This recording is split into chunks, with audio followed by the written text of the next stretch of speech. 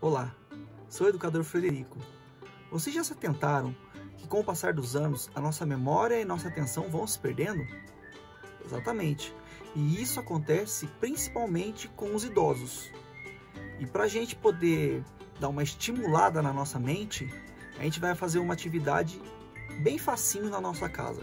Confere aí.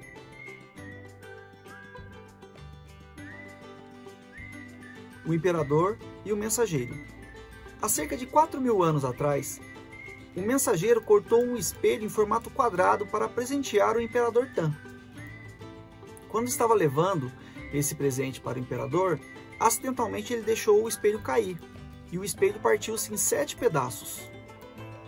Preocupado em não entregar esse espelho em formato de quadrado para o imperador, o mensageiro começou a montar esses sete pedaços, a fim de retomar esse quadrado. Porém, ele foi percebendo que quando ele tentava montar, ele não montava um quadrado, ele montava outras formas. Ele montava pessoas, ele montava algumas outras formas mais conhecidas, plantas, animais. Então, esta é a lenda do Tangram.